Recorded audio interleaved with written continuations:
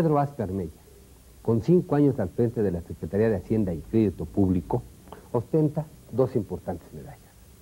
Por un lado, el saneamiento de las finanzas públicas y por el otro, el abatimiento a los índices inflacionarios. Con estas dos cartas se ubica entre los punteros en la carrera presidencial. Solo que al lado de estos timbres de orgullo y a los ojos de muchos mexicanos, de una gran parte de los mexicanos, la política económica de la cual Pedro Aspe es uno de los artífices, en efecto ha servido para generar riqueza en el país, pero también para concentrarla en unas poquísimas manos. La imagen de Pedro Aspe, pues, es para muchos indisociable de un claro favoritismo por los ricos.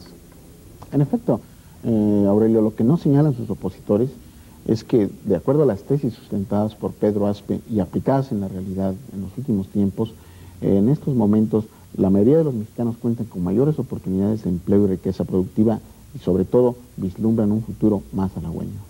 Algo más se abunda sobre el doctor Aspe. Se dice por un lado que es un funcionario público eficaz, pero por el otro se señala su supuesta incapacidad para vincular sensibilidad política con los grandes sectores de la población. Se recuerda una, el alboroto que se armó cuando Aspe llamó mitos geniales a problemas como el desempleo y la distribución del ingreso. En parte tienes razón, Renato, pero vale la pena recordar que eh, en estos momentos el 53% de lo presupuestado está destinado a gasto social, es decir, a Pedro Aspe, más que su imagen pública, lo que le importan son los resultados. Lo cierto es que opiniones encontradas las provoca cualquier secretario de Estado. Pedro Aspe no puede ser la excepción. Ahora bien, lo que ha hecho Jaime Contreras es una investigación sobre otros aspectos de su vida, aspectos humanos, aspectos familiares. Platícanos un poco sobre este trabajo, Jaime. Pues déjenme decirles a grosso modo que encontré a un doctor Aspe mucho más humano de lo que se exhibe públicamente. Pero permítame convidarles a la charla que sostuviera eh, el director de Excelsior, Regino Díaz Redondo, con el principal protagonista de esta historia. Para empezar, podría ser, doctor, si usted me pudiese decir en qué situación se encuentra, resumiendo, la situación económica del país actualmente, qué falta por hacer y qué se ha realizado. Bueno, son uh, varias preguntas. En una yo diría, en primer lugar, que una de las cuestiones básicas que propuso a la Nación el presidente Salinas desde su toma de posición fue disminuir la inflación. Mucha gente que cree que disminuir la inflación es un imperativo económico y lo es, porque una alta inflación hace que los precios relativos varíen muchísimo, que nadie sepa planear, que el ama de casa tenga incertidumbre de cuánto le va a costar esto o aquello, que al estudiante, al obrero, no sepa eh, cuánto es lo que en realidad gana por, por la enorme inflación. Pero también tiene una dimensión social y también una dimensión política, la inflación. Las inflaciones altas realmente son un cáncer social. Rompen el tejido social y en algunos casos terminan por romper la paz social. La inflación concentra el ingreso, golpea más al que menos tiene, ayuda más al que más tiene y por todas estas razones políticas, económicas y sociales, el presidente propuso a la nación disminuir la inflación y llevarla a un nivel similar a la de nuestros socios comerciales.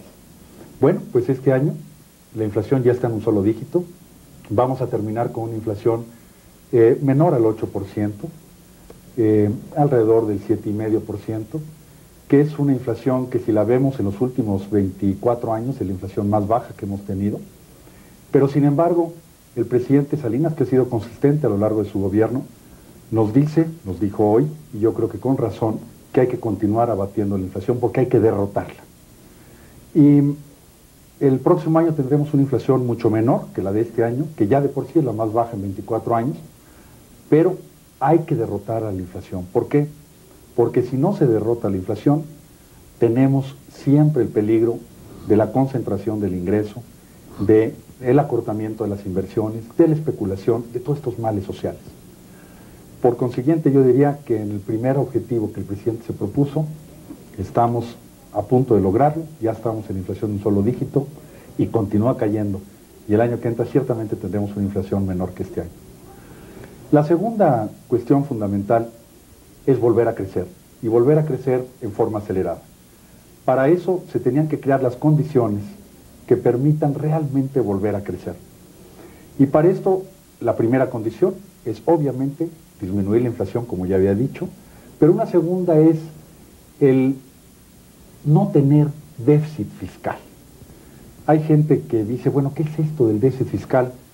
Y en lugar de entrar en una cuestión técnica, yo diría lo siguiente, el sentido común de la gente es muy claro. Eh, una familia sabe muy bien que una familia no puede gastar más de sus ingresos, no puede gastar lo que no tiene. Una empresa también. Y la verdad es que no es muy distinto en el gobierno. Hay gente que hacen teorías que dicen que puede ser distinto, la verdad es que no.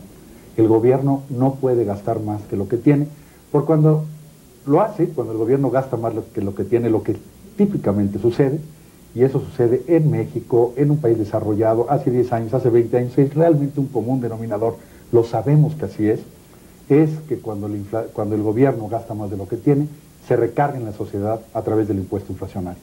Y de esa manera balancea sus, uh, sus cuentas. Entonces, esto es importantísimo, el no tener déficit fiscal.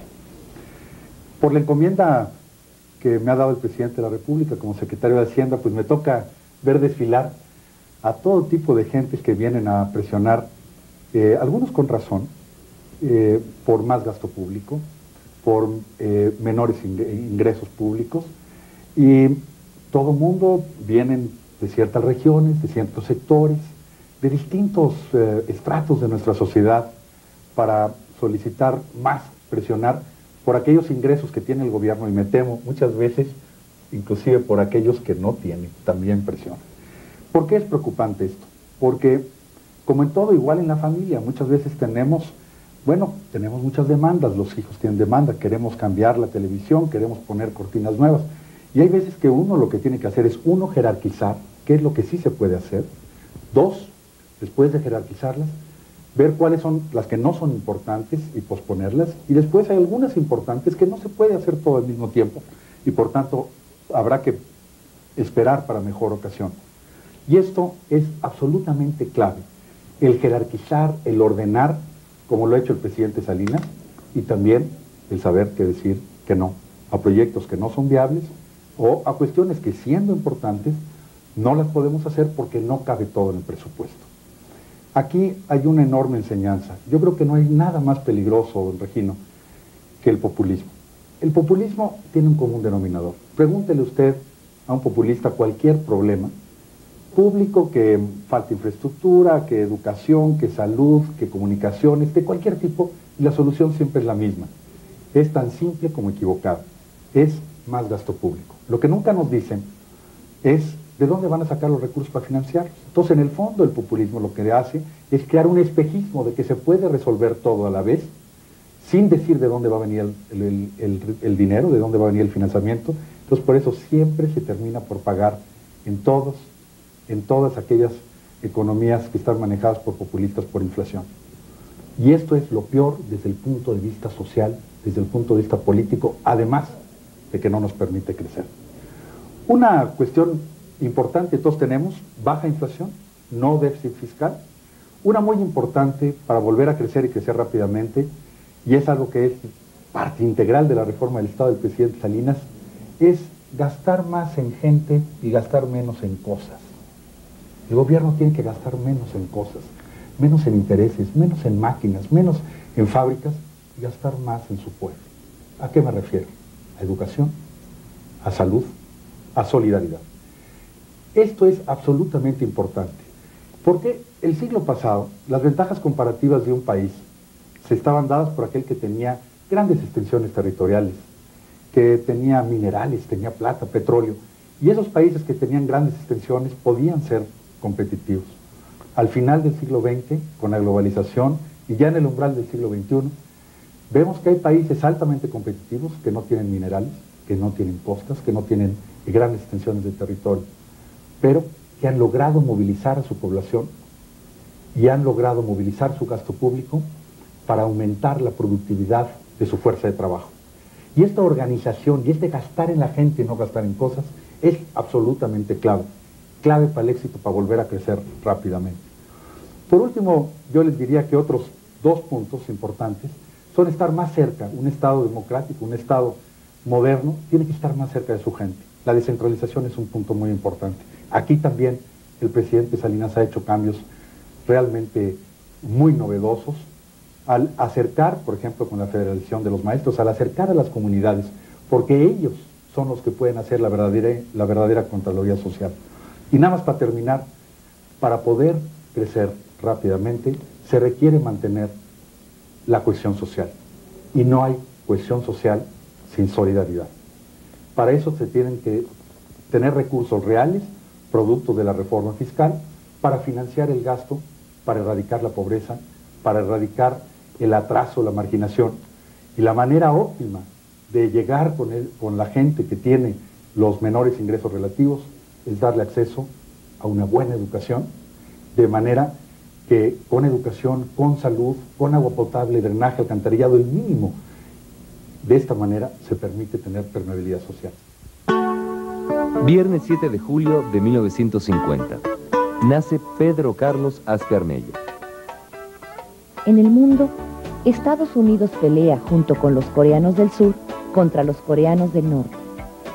El armamento más moderno está listo para utilizarse.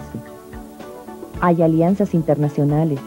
Se habla de retrocesos norteamericanos y en general, todas las noticias internacionales que publicó este día Excelsior se relacionaban con la guerra de Corea. En México se habla de los grupos antireeleccionistas, del agua contaminada, de derrumbes en mil cumbres y de la aparición de los tostones como celebrando el nacimiento de un futuro secretario de Hacienda. Doctor Julio Aspe, eh, ayúdenos. ¿Cuáles son los antecedentes de la familia de don Pedro Aspe Isais y doña Virginia Armela Maza? Bueno, de Pedro Aspe Isais es eh, bisnieto de un muy prominente senador del estado de Veracruz en el siglo pasado. Este senador, que se llamaba Francisco de Paula Aspe, estuvo casado con ah, Dolores Empara, que a su vez era hija de uno de los próceres ah, más importantes de la, de la época del 57. Fue constituyente del 57, don José de Empara. Entonces la familia Aspe proviene de España desde los años 1828, en que se establecieron fundamentalmente en Veracruz. Por el lado materno, eh, Virginia Armela de Aspe es hija de un inmigrante italiano, Carlos Armela, que llegó a establecerse en las tierras de Michoacán, en Lombardía, en Nueva Italia, y que con gran tesón, etcétera, se logró integrar muy rápidamente al suelo mexicano. De la zona del Mediterráneo salieron el siglo pasado muchos hombres y mujeres rumbo a América Latina. Tenían los conocimientos europeos y con ellos pretendían desarrollar e industrializar al nuevo continente. También es cierto que Europa, la vieja madre, no podía ya con tantos hijos, y ante el imperativo de sobrevivir, estos salieron en busca de alternativas.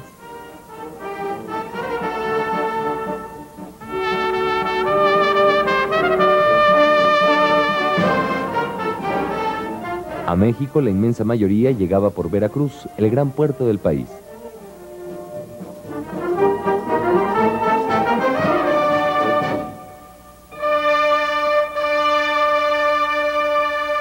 Ante las condiciones caóticas que privaban en la nación, Muchos de los emigrantes lograron, con sus conocimientos y alianzas, hacer negocios inmensamente productivos. Precisamente aquí, en el Sanatorio Español, pero hace 43 años, concretamente el 7 de julio de 1950, viernes al atardecer, nace Pedro Carlos Aspe y Armella, hijo del abogado Pedro Aspe Isais y de la historiadora Virginia Armella Maza. Don Pedro Aspe Isais y de doña Virginia, ¿cómo, cómo es su carácter? ¿Cómo, ¿Cómo es su relación familiar? ¿Cómo, cómo han sido sus estudios, sus profesiones? Bueno, eh, ellos tienen un carácter afín, en general se han llevado bien, el hecho es que tienen ocho hijos. Cada uno pues son, se complementan uno al otro. Eh, Pedro Aspe Isais es, es un carácter bonancible, eh, en ocasiones puede explotar, como, como es un rasgo característico de la familia, pero ha sido siempre una persona eh, muy centrada, sabiendo qué es lo que quiere y dirigiendo adecuadamente eh, la formación de sus hijos. Eh, es un abogado egresado de la Escuela Libre de Derecho que por razones de la vida entró a administrar el Palacio de Hierro por muchos años. Posteriormente pasó del Palacio de Hierro a ser parte de la iniciativa privada y últimamente eh, terminó uh, dirigiendo una sección de inmobiliaria de la Nacional Financiera. Eh, por otro lado, Virginia ha sido siempre muy activa, muy inquieta, con grandes eh, ambiciones culturales, ha desarrollado trabajos de, historia, de, eh, ha escrito libros sobre cocina mexicana, sobre eh, historia del rebozo, etcétera, de varios aspectos que han sido realmente muy interesantes. Es gran conocedora del arte, sobre todo virreinal. Pedro Aspe es el segundo de ocho hermanos. Su hermana mayor, Mercedes, le sigue el propio Pedro y tras él sus hermanas Virginia, Carlota, Lourdes y Guadalupe, su hermano menor, José, y la más pequeña, María Luisa. Dos días después de nacido, Pedro Aspe es llevado por sus padres a la casa familiar, enfrente de Plaza de San Jacinto, en el centro de uno de los barrios de mayor abolengo y estirpe de nuestra ciudad capital, San Ángel. Amanece en lo que fue el pueblo de San Ángel. Amanece en un sitio en donde se quedó la historia. Ahora parece un oasis en el México moderno.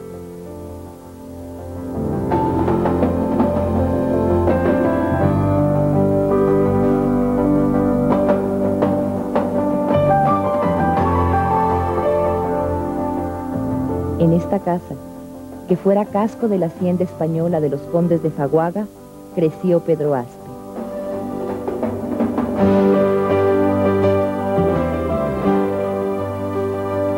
De niño, su madre y sus hermanas le decían el gordo. Era en la escuela buen estudiante, poco amiguero, reservado y tranquilo, igual que su barrio.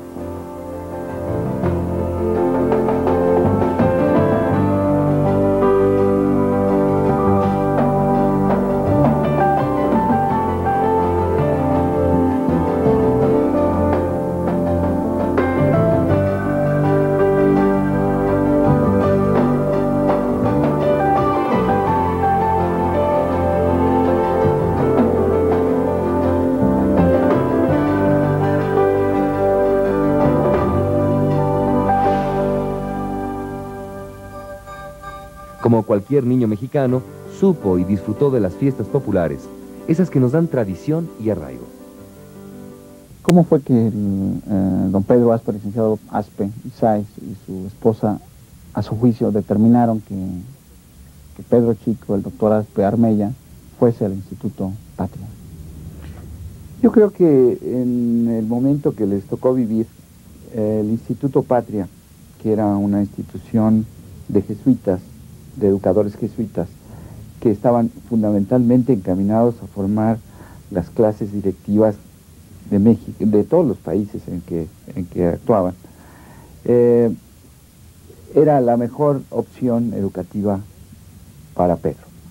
Eh, formaban hombres de carácter, de resiedumbre, honrados, con uh, un gran eh, apego a las instituciones, a la patria, a la religión. En el México de hace treinta y tantos años comenzaban a aparecer los rascacielos y la fisonomía de la ciudad sufría los enfrentamientos de los estilos arquitectónicos. Los edificios y monumentos que en un tiempo asombraron a los citadinos se convirtieron en símbolos románticos ante el empuje del nuevo país. Y claro, había edificios que hoy ya no existen, como el famoso Colegio Patria, al que le sobrevive solo esta barra de metal.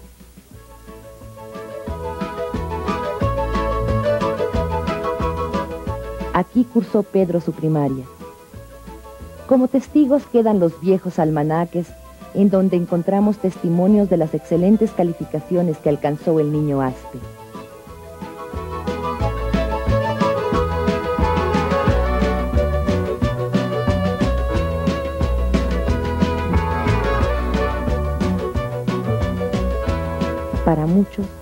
La desaparición del Patria fue una tristeza. Desgraciadamente esta organización, eh, por problemas eh, internos, eh, desapareció del panorama mexicano. es muy importante hacer notar que formaron por muchos siglos a las clases directivas fundamentalmente de Iberoamérica. Los jesuitas siempre han estado cerca del poder, a veces bien, otras enfrentados. Y es que San Ignacio de Loyola, antes de ser sacerdote, fue militar. Mientras en el Patria Pedro Aspe terminaba la primaria, en el Palacio de Bellas Artes el país se preparaba para el cambio de poderes. Primero de diciembre de 1959.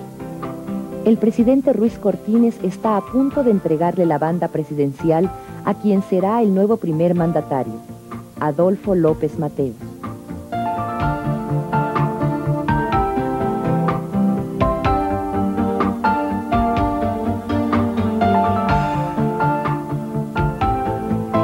El abrazo que marca el final de un sexenio y el arribo de una nueva generación que accede a los mandos de más responsabilidad.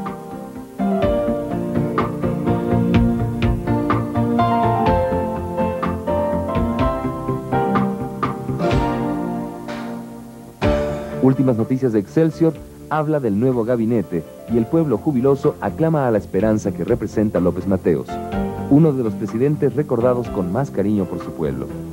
Comenzaba la década de los 60.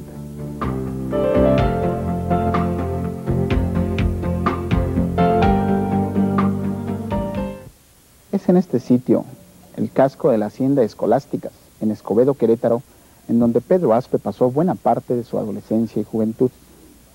Él era el administrador de esta hacienda, pero no solo eso, sino que también se distinguió desarrollando trabajos comunales con la población, la cual le guarda buen reconocimiento desde entonces.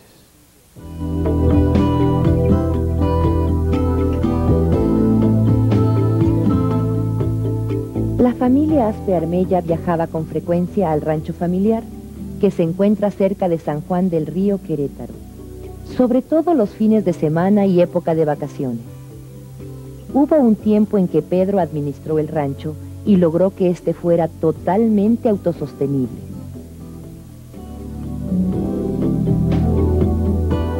Paseaba por estos lugares con su novia, Concepción Bernal, hija del antropólogo Ignacio Bernal, con la que finalmente contraería nupcias.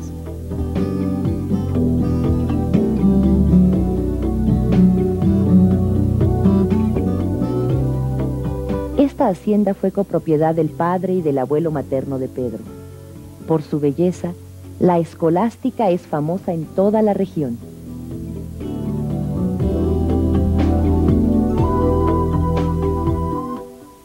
Pedro Aspe gustaba de pasear aquí a caballo y en motocicleta. Y también gustaba de tirar al blanco con escopeta a discos.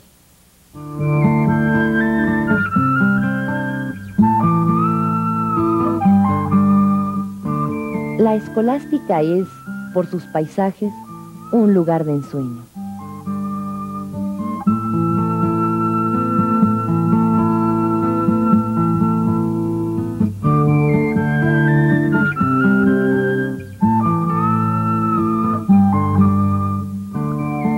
La afición de Pedro Aspe por el caballo y la motocicleta fue grande. En el caso de esta última, estuvo a punto de provocar una tragedia. Iba con Concepción, su novia, cuando sufrieron un accidente grave. Afortunadamente no pasó de un susto inmenso. Pedro Aspe salía de aquí, de la tranquilidad de las vacaciones y de la tranquilidad del campo, de regreso a la academia, al estudio, al Instituto Patria, en donde, por cierto, los jesuitas que entonces manejaban esta institución educativa siempre lo distinguieron como uno de sus alumnos más notables. Al principio de los 60, hubo una corriente de películas juveniles que tocaban el tema de la religión con más frescura. Se destacaban películas como La novicia rebelde o Sor Yeye, las cuales tuvieron una enorme cantidad de seguidores. Fue una época de remanso y buen humor. No vale la pena discutir jamás, no vale la pena, es mejor cantar y poner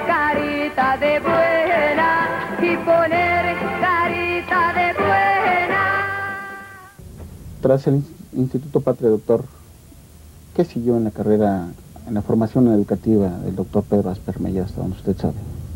Bueno, él eh, trataba de ser contador público, pero probablemente por influencia de algún maestro eh, decidió dedicarse a la carrera de economía que empezaba a tener auge en México. Entonces ingresó al Instituto Tecnológico Autónomo de México, que tenía opciones con respecto a la carrera de, economía.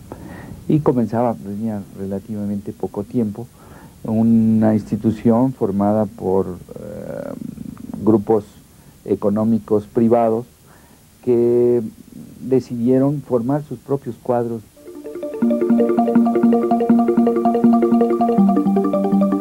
Pedro Aspe no fue un estudiante, como diríamos ahora, reventado, aunque en esa época no usara corbata ni traje. Vestía ropa deportiva. No usaba fijapelo, bigote o barba. Sus maestros le reconocían capacidad de liderazgo. Bajó y subió de peso repentinamente. A su amigo y profesor, Basol Saleta, le dijo bromeando que sentía que iba a cambiar de cuerpo.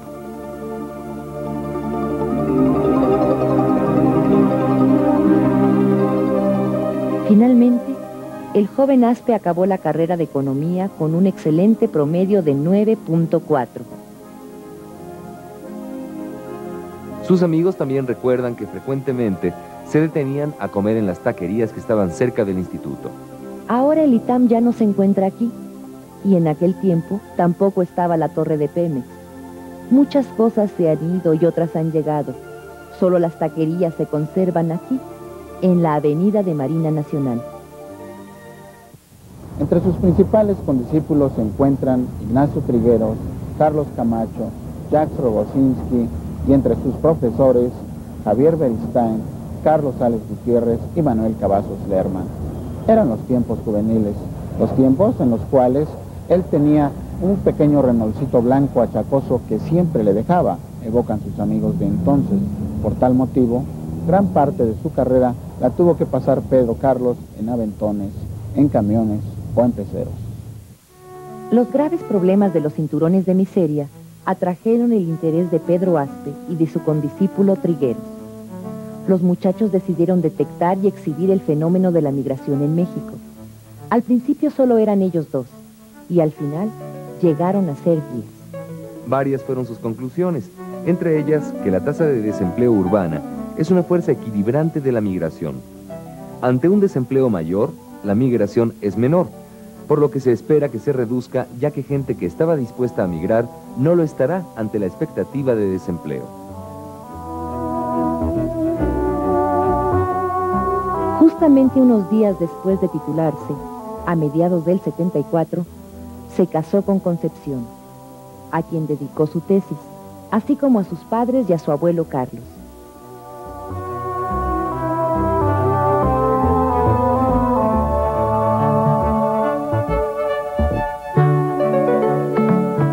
El joven licenciado Pedro Aspe obtiene una beca del CONACYT para estudiar la maestría y el doctorado en el Instituto Tecnológico de Massachusetts.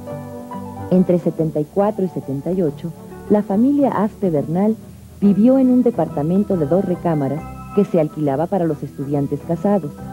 Nacieron Sofía y Mónica y fue adjunto de Franco Modigliani, premio Nobel de Economía, que según sus propias palabras apreciaba la habilidad, el aplomo y la capacidad para mantener la cabeza fría del joven Aspe.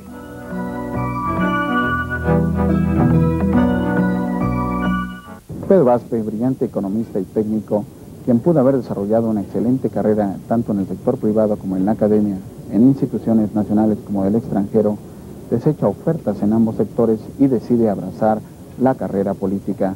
Lo hace ingresando al Partido Revolucionario Institucional a mediados de 1980.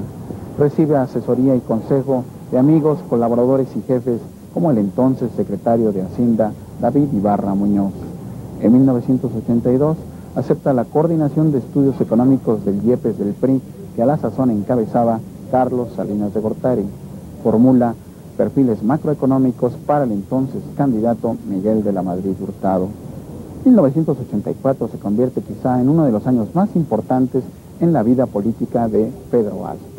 Al ser nombrado presidente del Instituto Nacional de Estadística, Geografía e Informática, con la radiografía de la nación, inicia de lleno una carrera vertiginosa ascendente. Tan vertiginosa, tan ascendente, que tres años después lo convierten en titular de la Secretaría de Programación y Presupuesto y un año después en el responsable de las políticas hacendarias de nuestro país. Hoy en día, Pedro Aspe es uno de los principales aspirantes a la silla presidencial.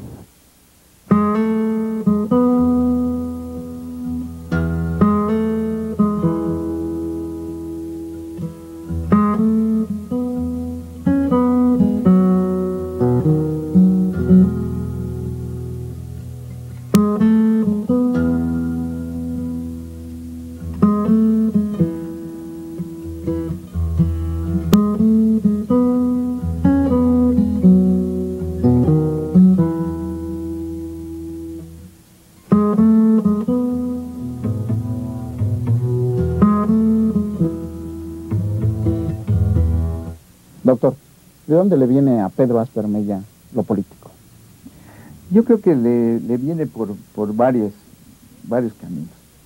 Eh, el primero, pues, es la formación que ha recibido, el interés que, que siempre mostró por, por ayudar a, a, la gente a su alrededor.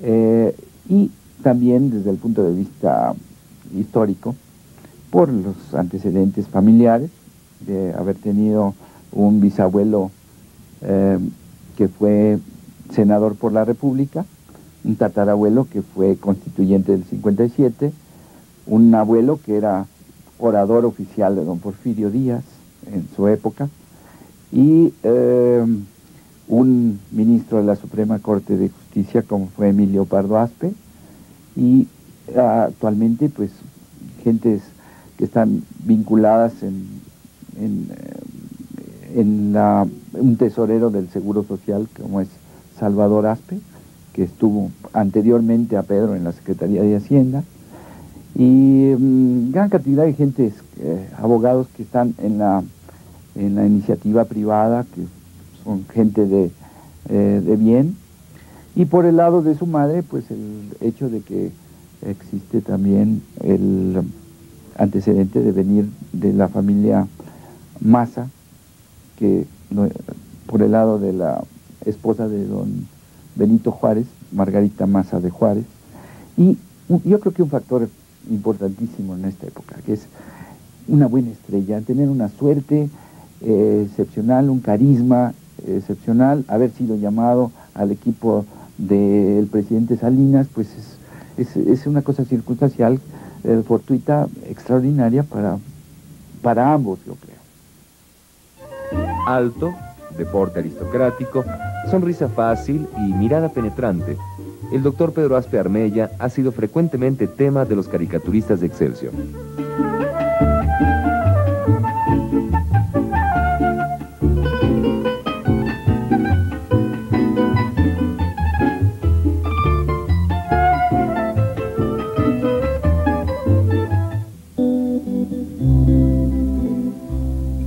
Familia numerosa, alegre, seis hermanas, un hermano y unos padres inteligentes y bondadosos han sido un tesoro que don Pedro ha tenido en la vida.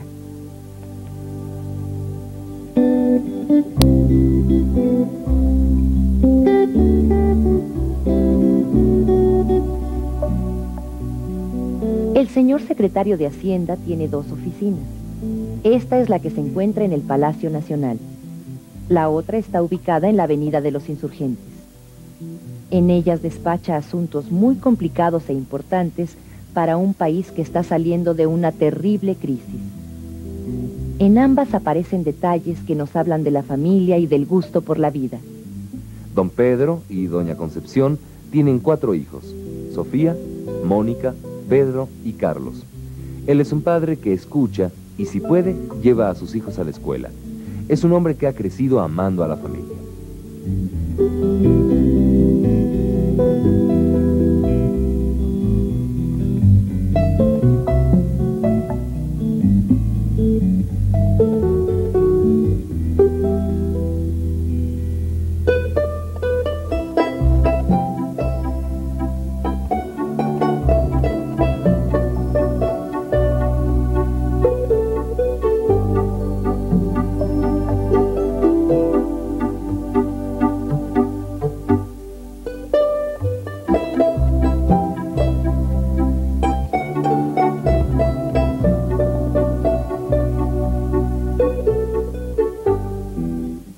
Tiene fama de ser un hombre realista, pero al mismo, al mismo tiempo rígido, al mismo tiempo cumplidor de todas las facetas económicas que dicta el camino eh, que ha tomado la economía nacional.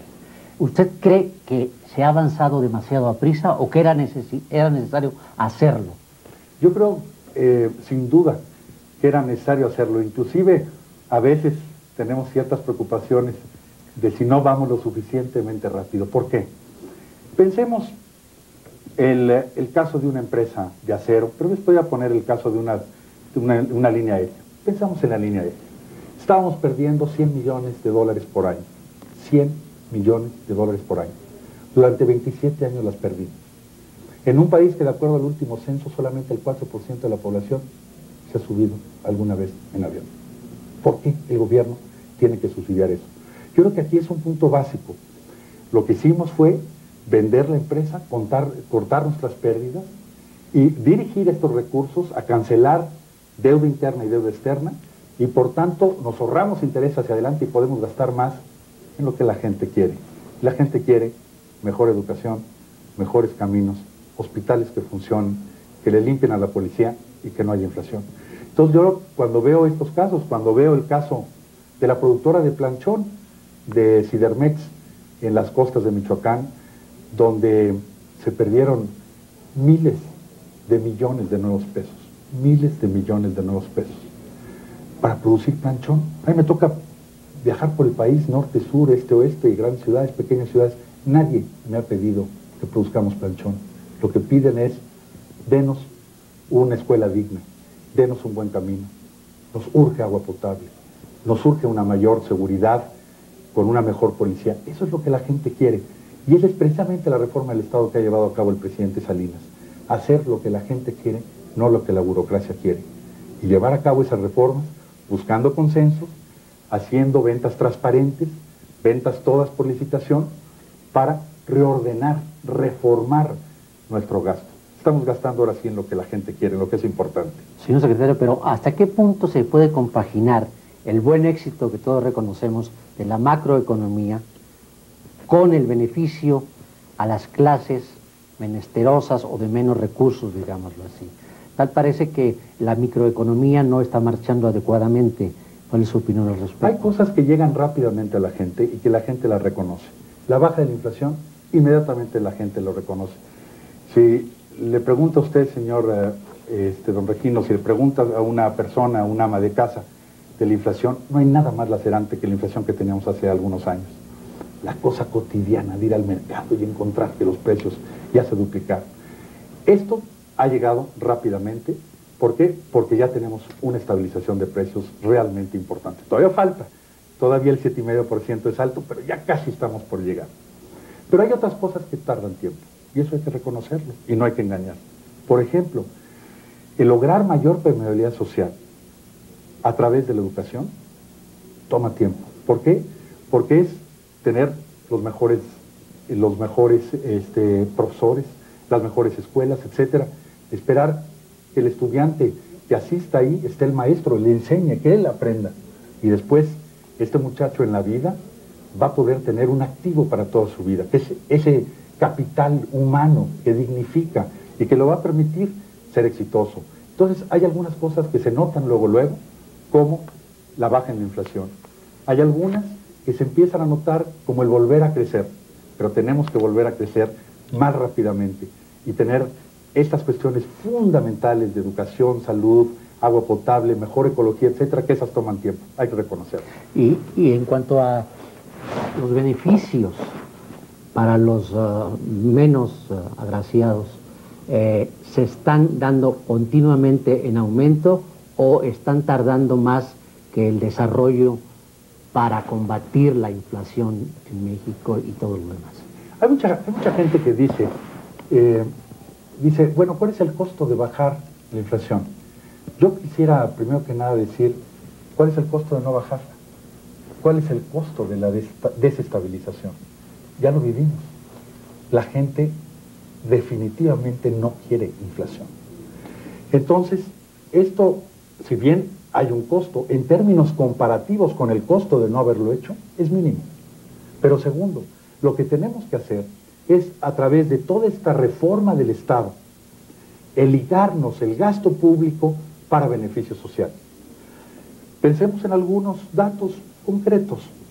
Por ejemplo, durante la administración del presidente Salinas, 13 millones de personas tienen electricidad que no la tenían hace 5 años. 14 millones tienen agua potable que no lo tenían. Hay 26 millones de gentes que están inscritas en el Seguro Social que no estaban al inicio de la administración. Es decir, es cierto, es lento, nos gustaría ir más rápido, pero ahí está el avance. Y lo que es importante es continuar, perseverar, ser tenaces en esta estrategia. Y así como cuando la inflación estaba en 40, ejemplo, todavía es muy alto, después estaba en 30, todavía es muy alto, en 20, en 10, estamos en 7 y medio. Ya pronto llegaremos al 5 y tendremos la inflación internacional. Hay que perseverar. Lo peor en esto es dar bandazos. No se pueden dar bandazos. La gente lo que quiere es una seguridad. Quiere mayor seguridad personal, mayor seguridad económica, que no haya inflación, que haya transparencia en la gestión pública que el servidor público busque consensos y dé la cara. Eso es lo que la gente ¿Y hasta qué punto la gente entiende qué es bajar la inflación a un dígito y, cuáles son los beneficios que obtiene? Yo creo que la gente es muy inteligente. El ama de casa sabe perfectamente cuando la inflación está desbocada y cuando no está. Los índices del Banco de México nos miden muy bien la inflación, pero independientemente de índices, el público tiene, tiene ese saber y sabe que ha bajado la inflación. Ahora lo importante es volver a crecer más rápidamente, como esperamos que el año que entra, con estas medidas de reducción de impuestos, con los aumentos a los salarios mínimos, a los salarios contractuales, las reducciones de impuestos, el uso del superávit fiscal que hoy explicó el presidente, con eso vamos a empezar a volver a crecer más rápido, habrá empleos productivos, permanentes, y estaremos atendiendo las cuestiones que la gente quiere, educación, salud, ecología, vivienda, infraestructura. No más subsidios a líneas aéreas, a empresas acereras o a que el gobierno tenga autoridad. Restaurantes. Ya no. el estilo. Ya no. Eh, doctor, por último, yo quisiera saber si eh, las medidas adoptadas por el eh, gobierno para bajar la inflación y que esto a la postre dé un buen resultado hacia la gente en general, no ha creado una irritación mayor y la gente sigue molesta porque aún no ha logrado elevar nivel de vida al nivel en que considera apropiado para poder desenvolverse dentro de la sociedad. Yo creo que todavía falta, falta por hacer, pero como hoy veíamos en, en el informe del presidente Salinas, en cada uno de los años de su administración, en 89, en 90, en 91, en 92 y en los primeros este, meses de 93, continúan saliendo, eh, creciendo los salarios contractuales. No hay engaño en esto, vienen de una, de una base muy baja, que fue lo que la crisis nos quitó. Pero a partir de 88, cada año los salarios contractuales, en términos reales, en términos de poder adquisitivo, han ido aumentando. ¿Todavía es insuficiente? Sí, sí lo es. Precisamente por eso hay que perseverar, porque hemos visto en estos cinco años que desde esa base baja, pero van aumentando, y lo que es importante es perseverar. Y ahora, con la propuesta del presidente Salinas para los salarios mínimos, también ellos, que habían estado cayendo todo el tiempo de 82 a la fecha, se empiezan a revertir. ¿Por qué? porque van a tener una devolución fiscal que en promedio va a ser del 9.5%, más el incremento que se determine de inflación esperada, más incremento de productividad. Estamos remontando esto. Y claro, la crisis nos los quitó esto no en un solo año. Y no lo podemos devolver en un solo año. Hay que perseverar con prudencia. Hay que, hay que tener justamente la visión de que más vale, como dice el dicho, paso que dure que trote que canse. ¿Y, y- y hasta qué punto eh, es necesario conservar este rumbo en la economía en los próximos años? ¿Es partidario de que el rumbo es el adecuado y que no debe modificarse? Claro, definitivamente sí. ¿Por qué? Pues yo creo que es con un enorme sentido, sentido eh, común. La gente, ¿qué nos dice? Dice, no quiero inflación, estamos todos de acuerdo. Pensemos que no hay ningún país que se haya desarrollado que no haya estabilizado la inflación. Esto es una condición básica. El que el gobierno no gaste más de lo que tiene, el que se gaste en lo que la gente quiere, no en lo que la burocracia quiere, sino en lo que la gente quiere y necesita, el que se tenga una mayor transparencia en la gestión pública, el que se busquen consensos, yo creo que eso nos une a todos. Esta búsqueda de consensos, este tener que explicar que en las reformas, es cierto, hay costos en ocasiones de corto plazo, pero el salir a convencer, a persuadir, eh, a escuchar, porque a veces tenemos que cambiar, porque cuando escuchamos hay veces que cae, yo no había visto este problema. Los problemas no son muchas veces, siendo tan complejos, no tienen una sola dimensión. Yo creo que esta, en este sentido, lo que se quiere es volver a crecer aceleradamente y tener una baja inflación. Pero en el fondo no tenemos que ir a ver muchos países eh, con distintas culturas, con distintos sistemas políticos, historia para ver esto. ¿Cuál fue el país, me pregunto yo, que creció más entre 1940 y 1970? ¿Fue Japón? ¿Fue Corea? ¿Fue Singapur o Hong Kong? ¿Fue México? La generación de nuestros abuelos pudo tener un arreglo social en el cual crecimos al 7% anual durante 30 años sin inflación. Esta generación, el reto de esta generación, es volver a hacer eso, pero en una economía global. Por eso tenemos que mantener la economía abierta, gastar en educación, en salud, en infraestructura, no déficit fiscal, no inflación, mucha concertación, mucha búsqueda de consenso. Jaime, ¿no crees que difícilmente puede ser popular el hombre encargado de cobrar los impuestos? Sobre todo porque las clases medias somos las más grabadas. Mira, Salvador, los impuestos son eso, impuestos. A nadie le gusta cubrirlos. Sin embargo, con esos recursos se están ayudando a resolver gran parte de las necesidades de este país. ¿Y la popularidad? Mira, la popularidad es un concepto relativo. Solo para darte un dato, en la última fase del pacto, precisamente se desgrabó a los mexicanos que perciben hasta cuatro salarios mínimos. Esto es, se da un alivio a las mayorías. Un aspecto importante de la política sendaria ciertamente consiste en ampliar la base de contribuyentes. Y en México es creciente el número de mexicanos que paga puntual y ri- ri- rigurosa y religiosamente sus impuestos, pero al parecer todavía persisten fenómenos como la evasión fiscal. Se dice que de este fenómeno se benefician precisamente los peces gordos de la economía. De manera pues que se crea una impresión de que se le cobran impuestos a quien se puede y a quien se deja, pero no a quien se debe. Solo una reflexión en, en este punto, Aurelio. Él mismo dice que se le acusa de ser fiscal de hierro.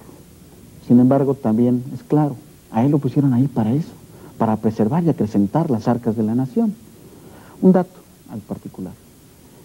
Al principio de esta gestión, 900 mil mexicanos pagábamos impuestos. En este momento, el padrón de contribuyentes casi llega a 5 millones. Todos recuerdan que Pedro Aspe fue el principal negociador del proceso de la renegociación de la deuda externa. Desde entonces se dice que tiene vínculos estrechos con los organismos financieros internacionales y con los principales banqueros. ¿Cómo gravita esto en sus aspiraciones? Renato, él mismo también acota sobre el punto. No rechaza, al contrario, se muestra orgulloso de, tener amistad con los principales protagonistas de los organismos financieros mundiales. Pero al canto dice, señores, necesitamos precisamente ese ahorro externo que venga a complementar el esfuerzo que los mexicanos hemos hecho a lo largo de los últimos años. Bien, de, este for- de esta forma hemos conocido el perfil de Pedro Aspermilla, uno de los protagonistas en el proceso de renovación del gobierno de la República.